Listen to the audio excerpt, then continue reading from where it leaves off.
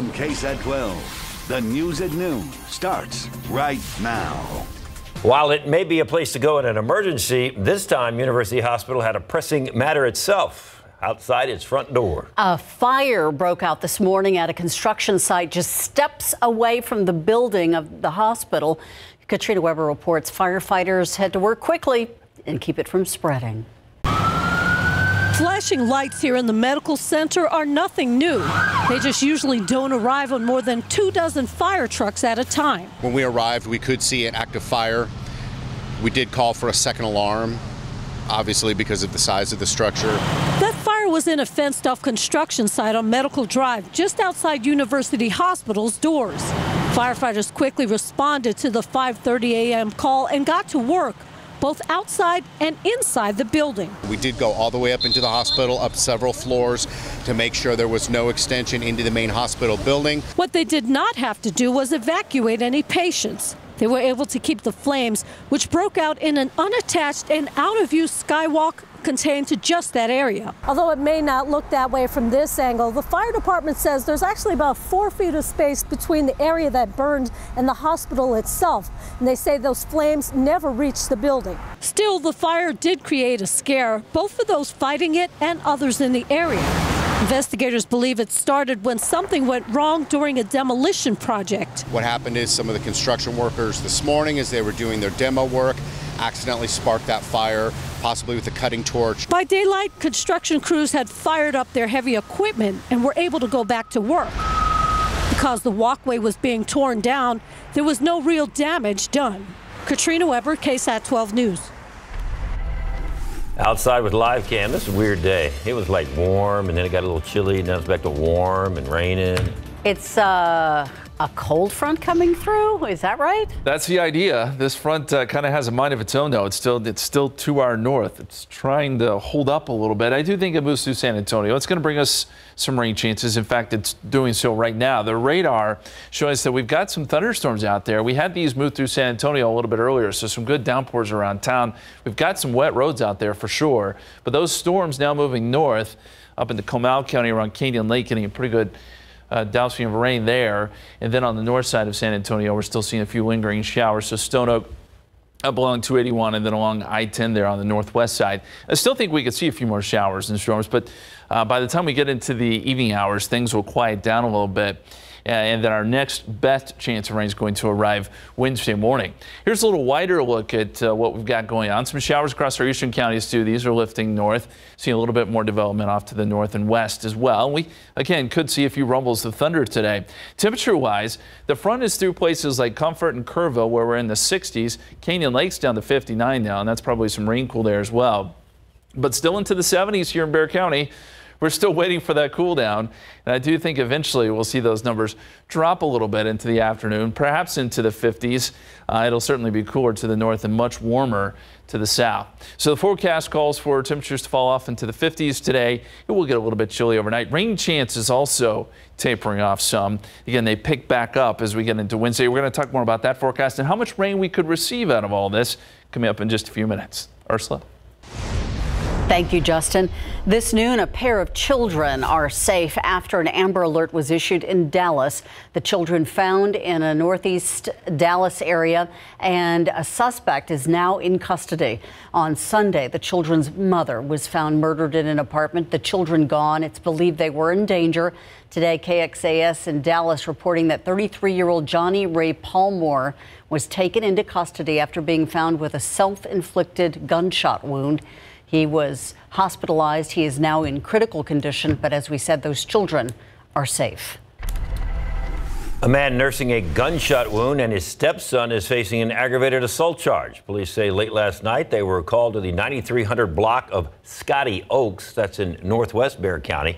Officers say a father and a stepson got into a fight at some point. The stepson picked up a gun and shot his father. He was taken to the hospital and a gunshot wound to his leg. The stepson was taken into custody. We have an update now on a deadly crash on the west side. Police have now identified the victim. Officers tell us Ruben Alejandro Cisneros was killed in that crash early Wednesday morning. Police say Cisneros was driving east in the 1400 block of West Highway 90 near Zarzamora when he crashed into a barrier. It's not clear what caused that crash. We're still waiting to learn the teen's identity after she was killed in a southwest side crash last night.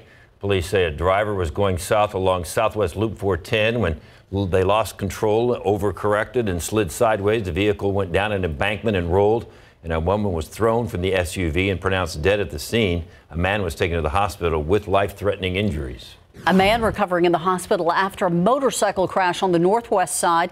Police say that motorcyclist was riding his bike in the 1500 block of Waverly Avenue just after 2 o'clock in the morning when he started driving the wrong way. He ended up losing control and hit two parked cars.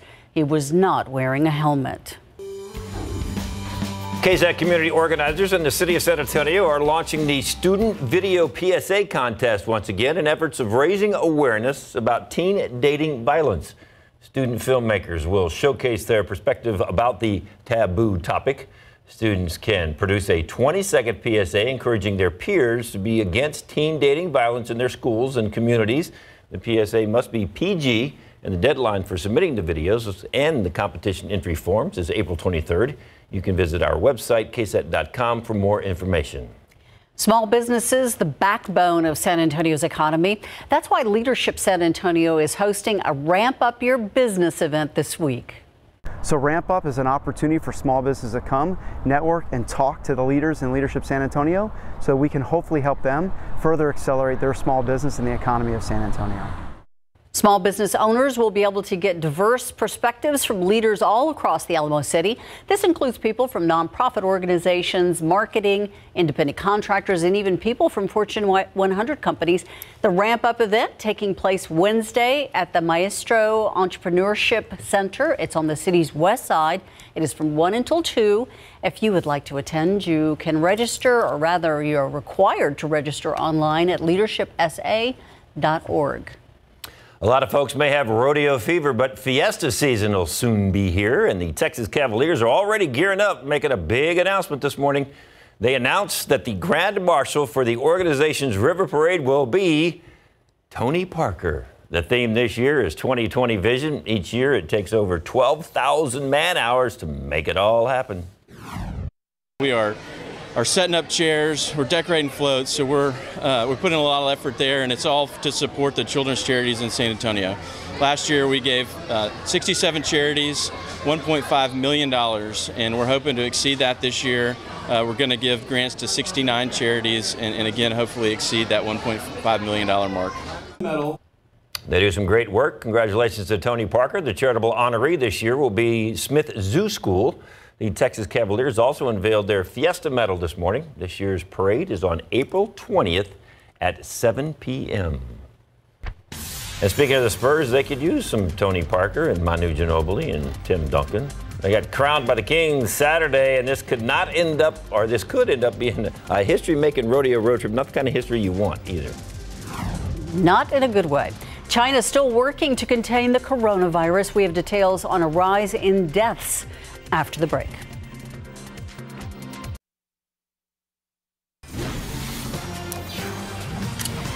Concerns over the coronavirus are growing more each day as the numbers of those dead and dying just keeps getting bigger. It's the deadliest day so far with a jump in recorded fatalities, plus new confirmed cases on board that cruise ship docked in quarantine off the coast of Japan. ABC's Julia McFarlane has more. A new blow in the fight against coronavirus. China's health commission announcing the highest number of people killed from the virus in a single day 97 casualties on Sunday. This as the total number of deaths climbs towards the 1,000 mark. Meanwhile, bad news for those passengers stuck on the Diamond Princess cruise ship off the coast of Japan, as dozens of people on board test positive for the virus. Meaning now at least 135 out of 3,700 passengers have caught the virus, including at least 23 Americans. One of them is Rebecca Frazier from Oregon, currently being treated in a hospital in Japan. You never think that something like this is going to happen when you're just on vacation, living life So, yeah, it was pretty shocking. It doesn't even feel like a cold, to be perfectly honest. I wouldn't have known that there was anything wrong with me. Um, if they hadn't tested me. Many of those on board the ship are concerned about catching the virus from others. The crew's currently on a two week quarantine period. The president of Princess Cruises at pains to stress the situation is under control. The Japanese government and Princess have both supplied additional resources and more doctors and nurses who have now boarded the ship. Experts in mental health and pharmacy will also be joining shortly. The cruise line announcing they will refund the full fare for all guests, including their air travel, hotel, and expenses as a result of the crisis on board. Meanwhile, another flight arranged by the State Department bringing back 65 people evacuated from Wuhan, arriving at a marine base in Miramar. Medical staff from the CDC carrying out screenings and preparing the new arrivals for their time in federal quarantine. Julia McFarlane, ABC News, London. We want to take a live look outside because it is going to require some apparel. You're probably going to need an umbrella mm-hmm. and a raincoat today. Mm-hmm, both of them. And it will get a little bit chillier later today, so you want the coat with you. As uh, you mentioned, Ursula, the, the aquifer is down a tenth of a foot to 672.3. We could use a little bit of rain. We've got quite a bit in the forecast. In fact, mold, as a result, though, because we are seeing rain, is up into the high category, 1710. Ash is moderate. We'll talk about rainfall and how much we could see coming up.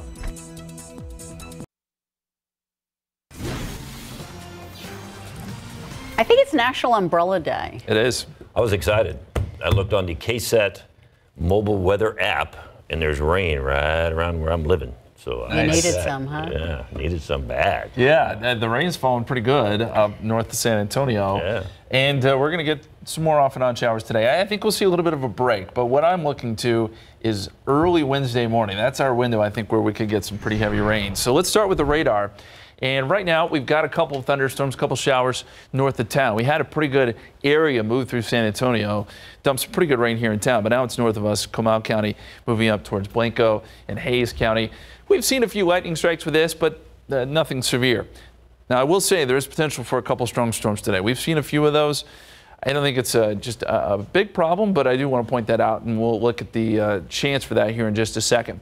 Let's zoom in a little bit closer here on San Antonio. And you saw those showers and storms lift north through the city. Now just a few leftover showers up there uh, around Bulverde, north of Timberwood Park. And these are more or less working their way up 281. Still getting some rain there around Canyon Lake as well.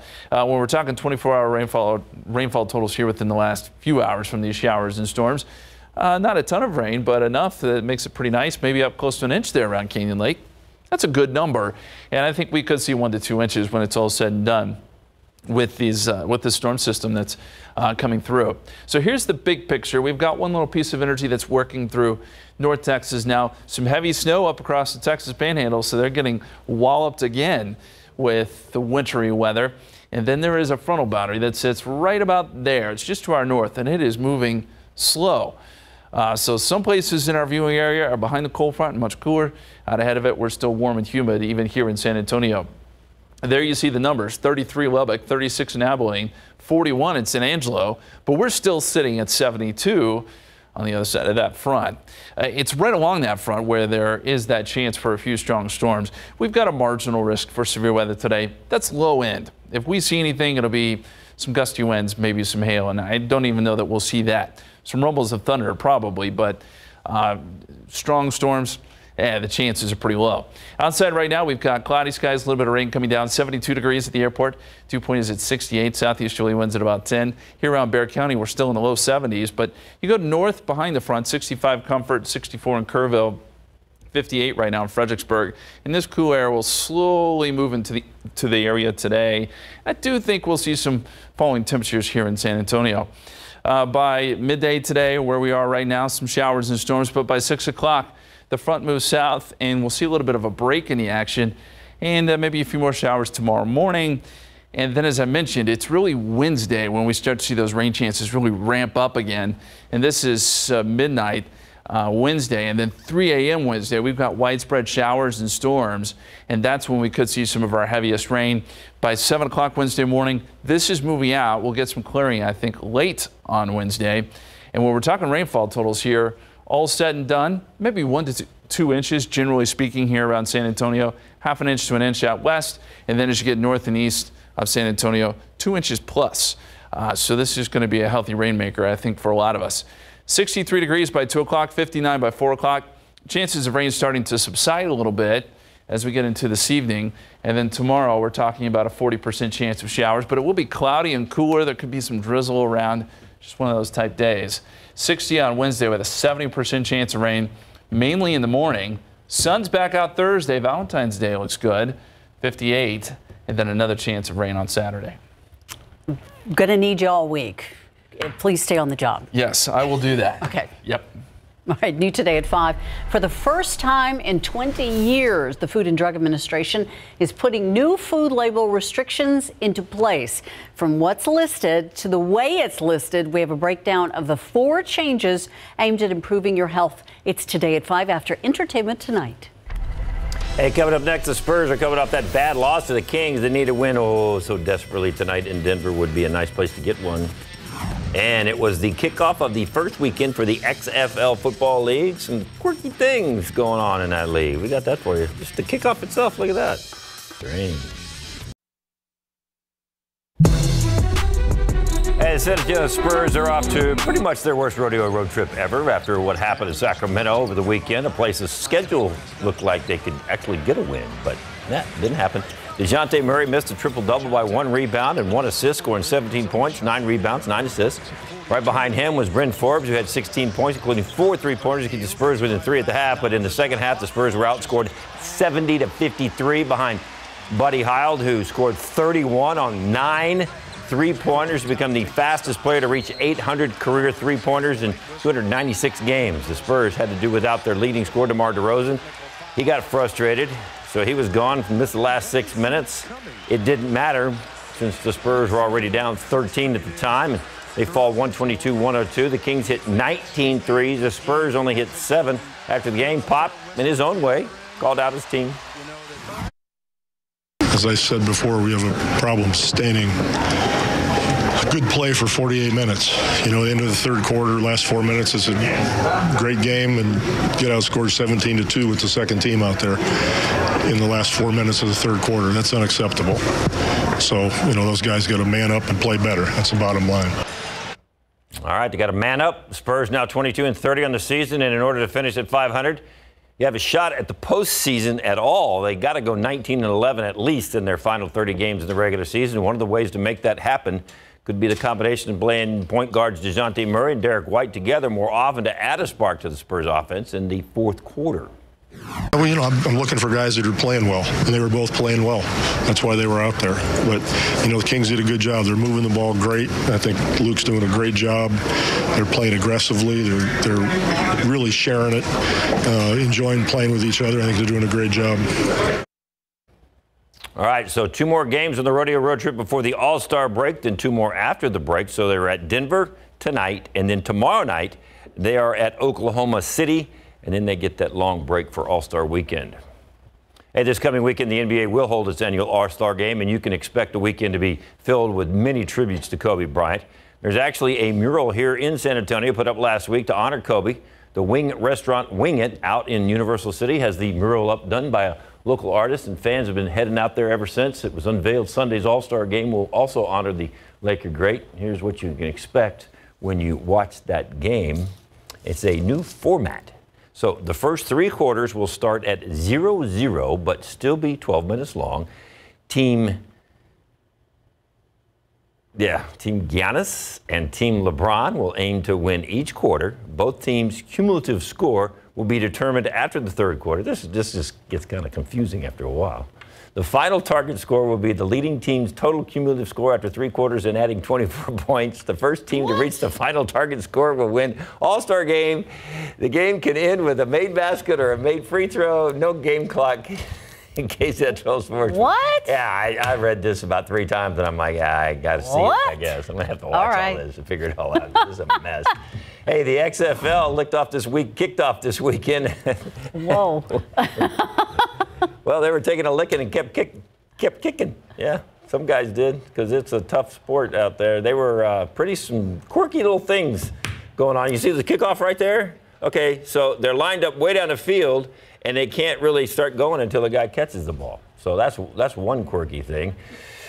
And another difference is the in-game interviews, which makes things a little awkward when a kicker just missed a field goal and has to do an interview about what happened when out when you were out there. Defenders won their game and have been called the best football team in D.C. The Houston, wow, that's that's hurts. The Houston Roughnecks won their game. Their logo is basically the Houston Oilers logo. New York Guardians won yesterday afternoon, and the Dallas Renegades had over 17,000 fans. In their first game, which they lost to St. Louis, the Battle Hawks, 50 to 9. Dallas failed to get into the end zone, so it seems like the Renegades aren't much different than the Cowboys, and they had 17,000 fans.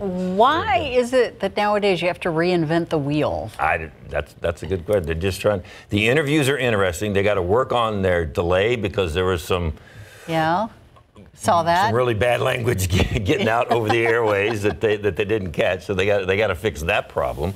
But the interviews are kind of interesting on the side, and the, you hear all the coaches talking. And the All Star game also. Let's yeah, let's I, I, I, take the rules and throw them up in the I'm air not- and see which ones land up right. They're trying to do what they can to make sure people are interested in watching. Interesting. All right.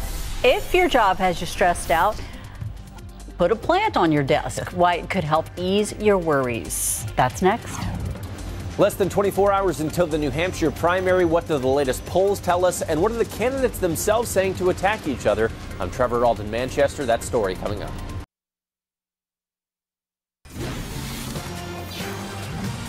President Donald Trump preparing a $4.8 trillion budget plan. Details expected to be released today. The plan reportedly includes previously rejected spending cuts and it leaves Social Security and Medicare benefits untouched.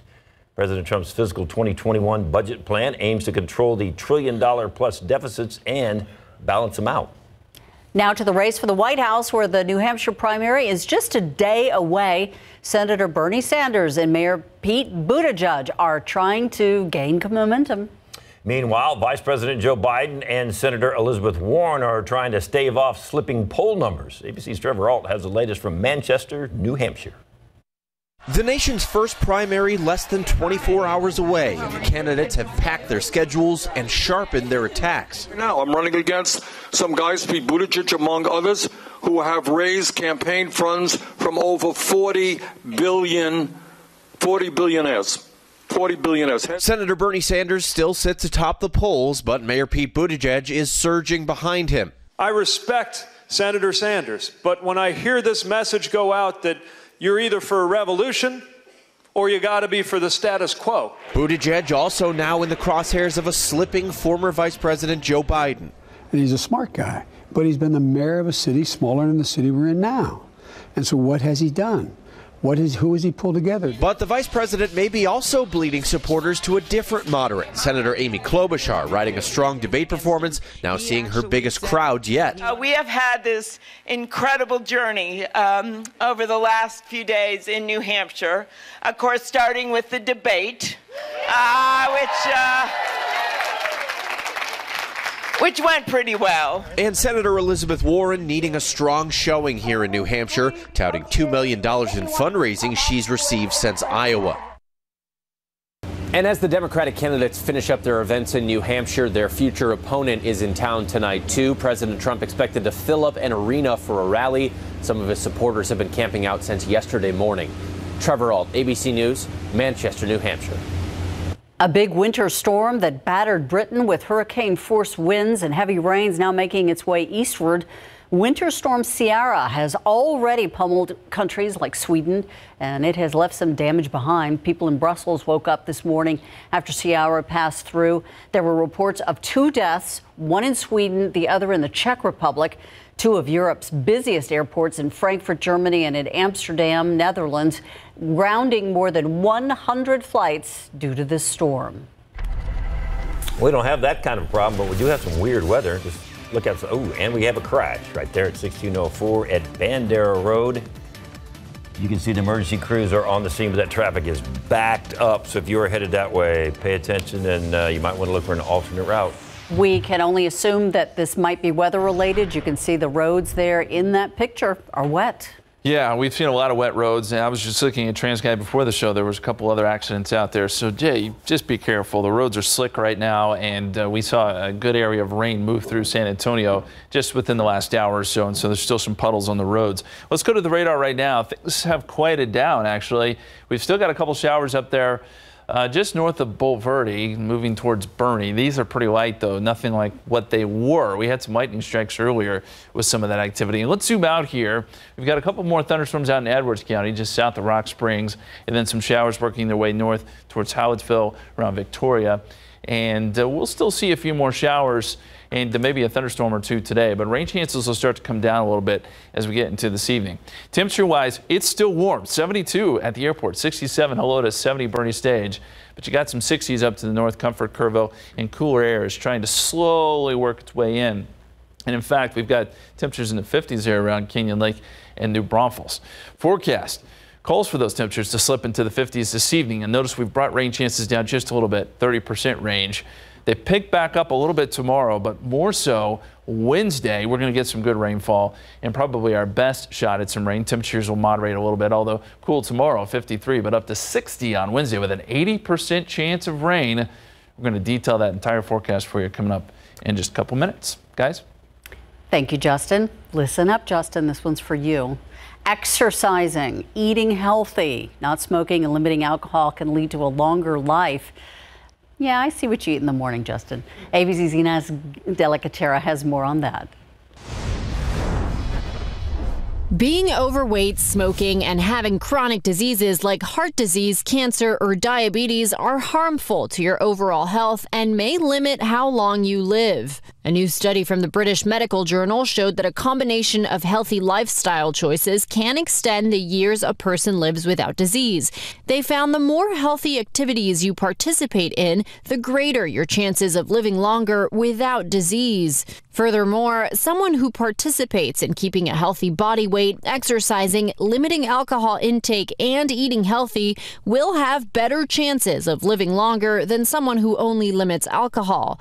So if you're tempted to skip the gym and stay at home on the couch and eat a bag of chips, think twice about it and make the healthy choices to live a longer, healthier life. With this Medical Minute, I'm Ines de la Cuetara.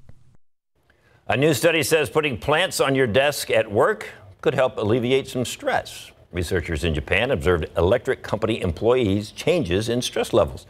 They found that employees' anxiety decreased after they were able to look at a small potted plant for a few minutes every day.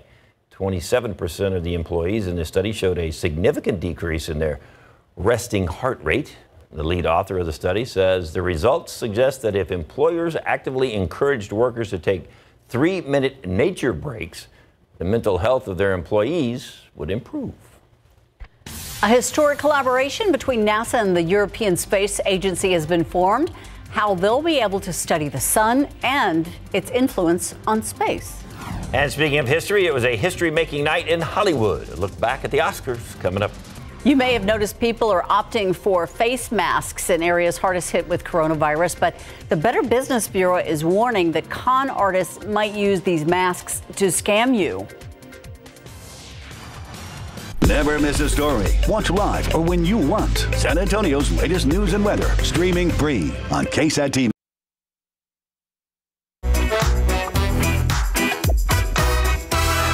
This is your daily tech and business briefing from Cheddar. Mattel says it will be closing two factories in Asia and one in Canada, all in an effort to reduce its manufacturing footprint and cut costs. The Barbie doll maker shut factories in both China and Indonesia last year due to weak sales. A spokeswoman for the company declined to reveal to the Wall Street Journal how many jobs would be affected by the closures. And Airbus might buy out Bombardier's $6 billion stake in the A220 jetliner program. This, according to Bloomberg. Negotiations between the two companies are reportedly in advanced stages, with official details speculated for release this week. Airbus has so far declined to comment.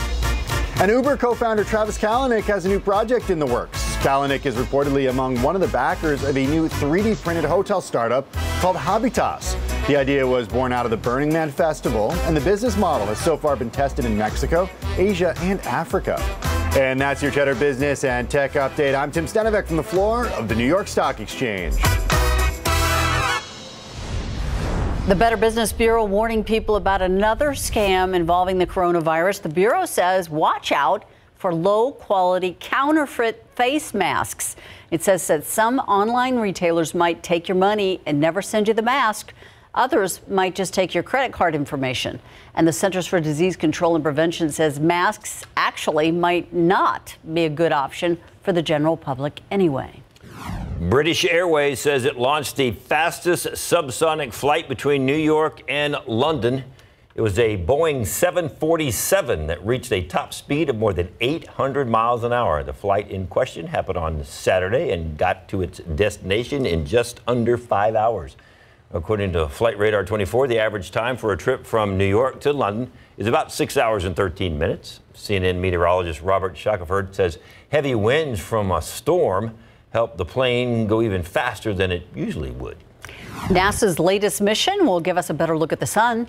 A solar orbiter was deployed late Sunday night from Cape Canaveral's Air Force Station in Florida. The spacecraft took a ride on a rocket before separating successfully. It'll provide scientists with the first ever images of the sun's poles. The collaboration between NASA and the European Space Agency will allow scientists to study the sun's changing behavior pretty much blocked out the sun today. It's kind of warm and humid, but we're expecting some colder temperatures sometime this afternoon, aren't we? We're waiting on a cold front, which, by the way, is just uh, just to our north. And it's going to be slightly south, and that's going to provide as we go into later into this afternoon, but the next couple of hours and then we'll see some cooler temperatures with that as well. 73 the high temperature today, 67 so far the low temperature, so not a big range there. The records are 88 and 19, and we have picked up about three tenths of an inch of rainfall so far. We're going to add to that, especially as we get into Wednesday. We're going to talk more about that forecast coming up.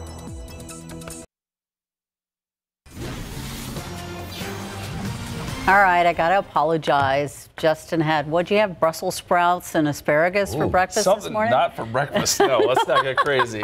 No, we made that for dinner last night, so I'm trying to eat a little healthier. Can't say it was, you know, yeah. the best meal in the world, but I'm trying. Yeah, yeah, yeah. So one day out of seven ain't bad. That's right. Yeah. Yeah. Maybe I'll make it two this week. All right. Yeah. Oh. Let's take a look at the radar. We've got some uh, showers and storms out there at this hour. Uh, we've been watching some of that heavier rain off to the north of San Antonio. That's starting to fizzle out a little bit, but we still got some action there in Edwards County and off towards Real County. There are some lightning strikes for that, so we'll watch that storm as it works north and east. But uh, right now, over rural areas, and uh, probably going to move north of Leakey. Nothing severe with it yet. We have the potential of a couple strong storms here over the next couple of hours, but so far we haven't seen a whole lot of that. Here in San Antonio, you saw some of the showers develop to the south. We saw that move north, produced some pretty good rain. We picked up about three tenths of an inch at the airport. That has since dissipated and moved off to the north. And we've still got some showers across our eastern counties as well. Victoria working up towards Hallettsville. And with that front still in place, there's potential for a little bit more as we get into the afternoon, although I think we'll see a bit of a lull in the action uh, later this evening into tonight. 24-hour rainfall totals, really this is what we've picked up just within the last uh, two hours or so. And there have been some decent numbers there, maybe close to an inch. Uh, along 281 near 1604 and we saw a pocket uh, close to that up across uh, Canyon Lake as well. Uh, let's zoom out and I'll show you the water vapor here. And one of the reasons we're getting this good influx of moisture is we've got this area of low pressure off to the west and it's slowly moving east. You combine that with the frontal boundary and the moisture that we've got in place, that's a good setup for some rain, and uh, we'll see that today, tomorrow, and especially Wednesday morning. Across the state, a lot of wet weather across uh, north central Texas, and in fact, some pretty heavy snow. Lubbock up to Amarillo. That's going to be a winter weather issue, and there could be even a little bit more snow across West Texas in the coming days. For us, it's just rain, and there's the frontal boundary just to the north of San Antonio. It is slowly, and I do mean slowly, moving south. It should bring in some cooler air uh, gradually through the day today. Right now, we're still at 72, but just to our north and west in San Angelo, it's 41. So it shows you the difference there with this front. 51 Waco, 45 right now in Dallas. Outside, 72 dew point is at 68, visibility improving some. We had some fog this morning, and temperatures around Bexar County in low 70s still. As you go north, you start to run into some of the cooler air. 64 Kerrville, 62 in Comfort, and in the 50s for Canyon Lake and New Braunfels. As uh, we look at the bigger picture here, And we'll zoom out. I promise this will happen. There we go. Sometimes things work slow here. Uh, 58 degrees Fredericksburg, 54 Junction, 52 in Rock Springs. So that's some of that cooler air that's working into the hill country as well. So the futurecast shows that we'll get those uh, showers and maybe a couple of storms along the front. But notice by 6 o'clock, this computer model quiets things down quite a bit. And as we go into tonight, a couple more showers. This is tomorrow morning, still some showers, maybe a storm. I think it's probably mostly showers tomorrow. And then by Wednesday morning, early Wednesday morning, we're talking midnight here, this is when our best chance of rain really starts to kick in. I think we'll see widespread rain, some good downpours pre-dawn Wednesday. And by 7 o'clock, a lot of this is starting to move out of here, and then we'll get some clearing late on Wednesday, and it clears out Thursday and Friday. Rainfall totals, hey, maybe one to two inches here in town. That's a possibility. Generally speaking, you'll get the better numbers off to the north and east of us. So forecast for today, 63 by 2 o'clock. We'll drop it into the 50s this afternoon. Again, that cool air will gradually work its way in on northeasterly winds. And then a 40% chance of rain tomorrow, 60 on Wednesday, 70% chance of rain early in the day, and then sun Thursday and Friday. Okay, Valentine's Day. You get to cuddle up with your loved ah, one. It's looking pretty good. Cold mornings. Cold morning. Knuckle Yeah. weather. Yeah. I'm bet. we'll be right back. This KSAT Rodeo Remembers is powered by the all-new 2020 Chevy Silverado HD. When you're at the rodeo, you're witnessing skills that took centuries to develop. And the first horsemen to begin to figure it all out were the vaqueros. As the Spanish colonized Mexico, cattle ranching became a lucrative business. But Mexico wasn't Europe. Working large herds on vast stretches of land demanded horses, new equipment, and new techniques. Roping, branding, spurs, chaps, the modern saddle, they were all developed through trial and error by the vaqueros. To a Spanish landowner, a vaquero was simply a laborer, and many were mestizo, a Spanish term for someone with both indigenous and European descent. In early colonial Mexico, indigenous laborers faced many restrictions, and the conquistador saddle was forbidden. So, out of necessity, a new style of riding developed on the haciendas. This mixture of inventiveness and masterful horsemanship formed the roots of charro culture. And as ranching moved north, the charro became the vaquero. By the 1800s, Anglo settlers began to move west into Old Mexico, and the important skills of the vaquero were embraced by a new kind of horseman. We'll talk about the rise of the cowboy on the next Rodeo Remembers. We want to take you back out to this trouble spot that's not as much trouble as earlier shown. This is at 1604 and Bandera Road, an accident here with lanes blocked off. Yeah, we understand nobody was transported, which means it wasn't that serious. It's just a big mess, and you can see the roads are wet, so that's going to cause some more problems. So pay attention if you get out there and get on the roads this afternoon. It was a night that was full of firsts at the Oscars and a big night for small film. ABC's Romina Puga is in Hollywood with more on that historic night last night.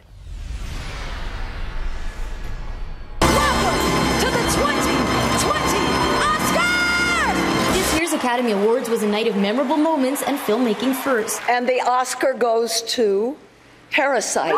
The history making hit Parasite becoming the first foreign language film to take home the Oscar for Best Picture. The small South Korean film breaking barriers, racking up award after award. Including an upset in the Best Director category, Bong Joon Ho honoring his idol Martin Scorsese during his victory speech. I loved that you said in your speech you wished that you could cut the Academy Award up in five pieces Texas Chainsaw. and share it with those other directors. Yeah. Would you really do that? I really love them. There were no surprises in the acting categories. And the Oscar goes to Brad Pitt. Brad Pitt winning his first ever Acting Academy Award for Best Supporting Actor. Once upon a time in Hollywood, ain't that the truth? And Laura Dern taking home her first Oscar Gold for Best Supporting Actress in Marriage Story.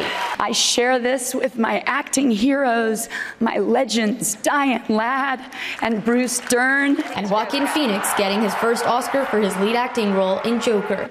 I've been a scoundrel in my life and ungrateful, but so many of you in this room have given me a second chance. About the only thing familiar on the movie industry's biggest stage was who wasn't on it.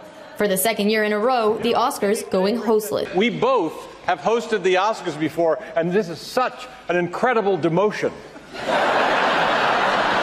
they don't really have hosts anymore. Why is that? Twitter. Parasite had the most wins for the night, followed by 1917 with three wins, and then Once Upon a Time in Hollywood, Ford vs. Ferrari, and Joker, each with two. In Hollywood, Romina Puga, ABC News. Oh, I did like 1917. Great movie. Didn't win that much last night. Well, won a few. It's all right. Well deserved. All right, let's head over to Market Square and SA Live Oh, on they, this Monday. they dressed down. They were all dressed up on Friday. no What happened? Texas. What? Well, she, I mean, look at how beautiful Fiona is, though, as Oh, always. Thank you so much. I didn't have the village today for the whole glam look, you know, but Hey, love guys. is in the air. That's right. You see that? That is four days until Valentine's Day. One, two, Yeah. three. That's our public service announcement. Okay, and you want to go on a really, really nice date, maybe with your Valentine, or even for the whole family, ice cream. You can't go wrong with this. Not oh, yes, Joey Garza, the general manager from the Baked Bear, is here. Tell us about these yummy treats. All right, so we do custom ice cream cookie sandwiches, and basically you just pick your cookies. All of our cookies are homemade, all of our brownies are homemade also, and then you choose the ice cream that goes in the middle and then whatever toppings. Let a dozen flavors of cookies, 13 flavors of ice cream. Exactly, including vegan cookies, gluten-free cookies. We also have gluten-free ice creams. It's a good oh. Monday. It's a good Monday. It's going to be getting even better. Hey, as you're going on that date, Elsa Fernandez from Eye Candy Boutique is here. What is that one thing every gal should have? A denim jacket. That cropped longer. Yes, whether you're going for Valentine's Day, date night, rodeo date, one for all. and it's so true because it doesn't matter what you're wearing. Where if even if you're dressed up, like I could wear that over this. It's exactly. It's it's the today's blue blazer mm-hmm. basically. It goes with anything. So, and, All right. Well, if you're looking for a fun way to get fit, yes, indeed, Jen Tobias Trusky is there, and it's going to be kind of a pound out workout.